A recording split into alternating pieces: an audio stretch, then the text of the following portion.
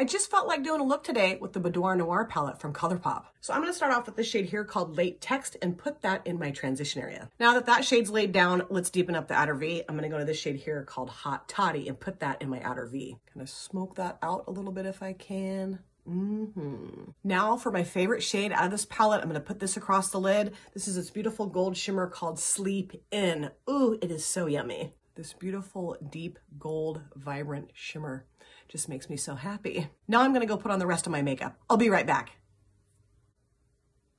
This is the finished look, and I love how this look turned out. I am so in love with this palette. Let me know if you have this palette. Let me know what you think of this look, and you have a wonderful day.